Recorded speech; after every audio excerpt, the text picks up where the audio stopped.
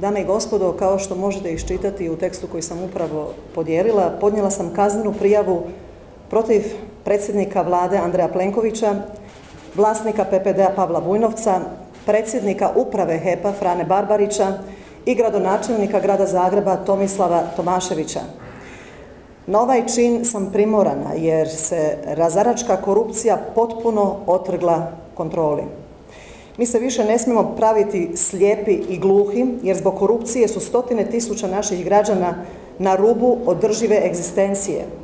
Da se ovakva krađa, kao, i ona krađa iz afere INA, to jest plinske afere broj 1, dogodila u Francuskoj, u Češkoj ili u Litvi, već bi pala vlada, a niz dužnosnika bi sjedilo u istražnom zatvoru.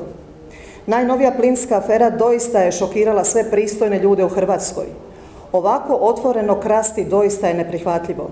Kupovati skupo plin za HEP, pa taj isti plin u bescijenje prodavati Vujnovčevom PPD-u kako bi ga taj Vujnovac po 900% višoj cijeni prodavao gradskoj plinari Zagreb, jest neviđeno u europskim okvirima.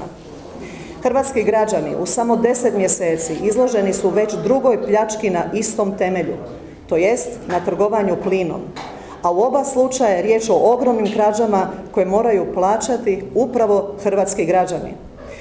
Hrvatski građani izloženi su bolesno visokim cijenama osobnih i higijenskih potrepština i neviđeno niskim plaćama, koje možemo nazvati uvredom za dostojanstvo svakog čovjeka. Svaki hrvatski građanin, kad svakodnevno izlazi iz trgovine, treba se sjetiti da je svoju kupovinu platio 30 ili 50% više upravo zbog afera kao što je ova, koju ću sada ukratko opisati. Dakle, plinska afera broj 2. HEP od INE po nalogu Plenkovića kupuje plin za 47 eura. Prodaje ga Vujnovčevom PPD-u za 10 eura. Da bi ga Vujnovac prodavao gradskoj plinari Zagreb, kojom upravlja gradonačelnik i možemovac Tomašević, za 106 eura. Ovako otvoreni lopovluk nisu vidjeli ni afričke diktature. Andrej Plenković, Frane Barbarić i Tomislav Tomašević odnose se prema novcima poreznih obveznika poput pijanih milijardera.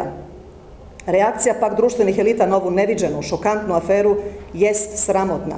A reakcija parlamentarne oporbe na ovu aferu za svaku je osudu, jer je nedostatna te se temelji čisto na zadovoljavanju forme.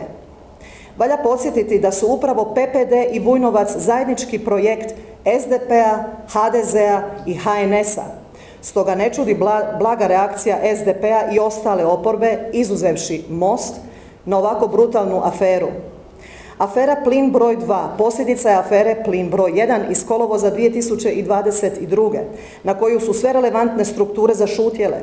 DORH je ograničio i zaustavio istragu, a mediji i politički čimbenici su na tu aferu zaboravili. A sve po nalogu Andreja Plenkovića. Osobno mogu svjedočiti uvredama i vrijeđanjima upućenima meni zato što sam stalno upozoravala na razaračke posljedice korupcije. Zbog mog spominjanja plinske afere i na broj 1. Ja sam u svojevrsnoj medijskoj izolaciji, a razlog tomu vrlo je jednostavan. Mediji i pravosuđe su pod kontrolom i potpunom blokadom vladajućih struktura, te svatko tko pokušava se boriti za interese građana i tko zahtjeva poštivanje zakona biva izoliran ili ga se lažima pokušava diskreditirati. Moram pak naglasiti da svaki javni dužnosnik, to jest političar, na bilo kojoj razini, jest odvjetnik svojih građana i dužan je reagirati na nanošenje štete hrvatskim građanima. Ako liječnik ne reagira kada pacijent ima infarkt, on čini kazneno djelo uskraćivanja obvezatne pomoći. Ako političar vidi da netko potkrada njegove građane i on ništa ne čini, on postaje sudionik lopovluka. Dakle, plinska afera broj 2 posljedica je prešućivanja plinske afere broj 1, afere INA. Ali je i odgovor svim hrvatskim građanima zašto su im plaće niske, a cijene života tako visoke. Plenkovićev HDZ, SDP, Možemo, HNS i DP udruženi su u zaštiti postojećeg poretka, čija je temeljna osnova pljačka vlastitog naroda. Lamentirati o svemu i svačemu, a umanjivati ovako brutalnu korupciju jest dokaz zaštite temelja današnjeg poretka u Hrvatskoj, koji se zove nepravda i bezakonje. Odgovorno tvrdim da bi u svakoj članici Europske unije ovakva afera rezultirala ostavkom vlade u samo 24 sata. Hrvatski građani pak svjedoče da Andrej Plenković izlazi pred hrvatsku javnost i govori kako on nije informiran, najavljujući istrage, to jest skrivanje afera putem provjerenog dorha. Znači, osim što krade svoj narod, Andrej Plenković ga sustavno vrijeđa ovakovim lažnim tvrdnjama. Plenković je postavio predsjednika uprave HEP-a, postavio je ministra gospodarstva, postavio je nadzorni odbor HEP-a, upravlja policijom, upravlja DORHom, upravlja SOM. Znači, informiran je s pet strana. Dakle, u detalje je znao sve o svim događajima. Ali Plenkovićev temelj djelovanja jest blokada institucija kako bi se moglo krasti.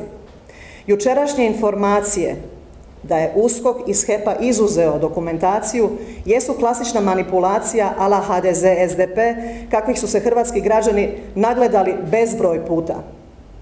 Kada hrvatska javnost čuje da USKOK nešto ili nekoga istražuje, onda svi znamo da je nastupila operacija skrivanja lopovluka. Naime, USKOK uobičajeno najavi istragu koja traje dok se slučaj ne zaboravi. Upravo je to Plenkovićeva namjera u aktualnoj aferi. Kao i u aferi INA, kao i u aferi željezničke nesreće kod Novske, kao i u aferi Uljanik ili u aferi Croatia osiguranje. Dakle, novac se ukrade hrvatskim poreznim obveznicima, a onda nastupaju istražitelji koji pričaju o istrazi, a u biti oni skrivaju krađu. Svi radnici HEP-a koji imaju mizerno niske plaće, svi zaposlenici INE koji imaju mizerno niske plaće, zaposlenici školstva, zdravstva, zagrebačke čistoće, porezne uprave, vatrogasci, policajci i vojnici, zaposlenici trgovačkih lanaca, prehrambene i tekstilne industrije moraju biti svjesni da je cjelokupni državni aparat koji oni financiraju blokiran od Andreja Plenkovića i od lažne oporbe s isključivom namjerom omogućavanja lopovluka kao što sam opisala u ovoj predmetnoj kaznenoj prijavi. A to automatski znači nanošenje štete običnom hrvatskom čovjeku.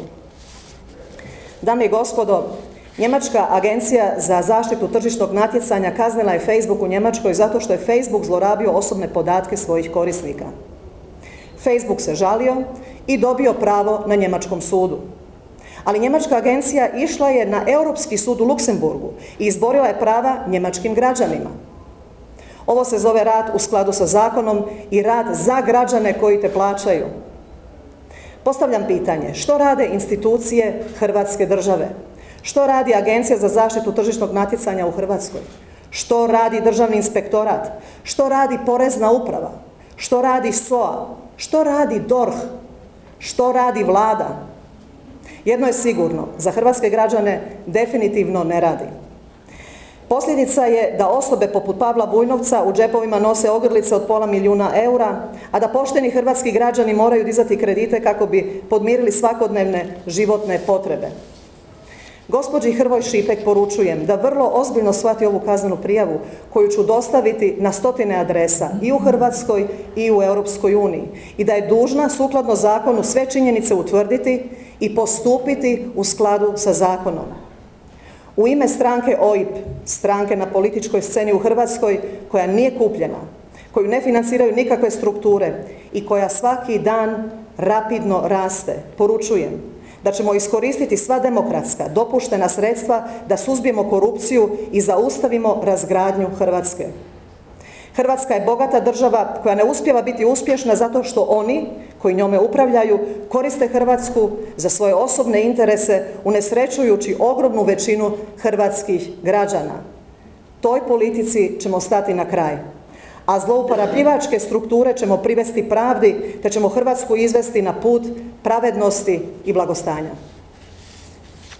Hvala lijepa.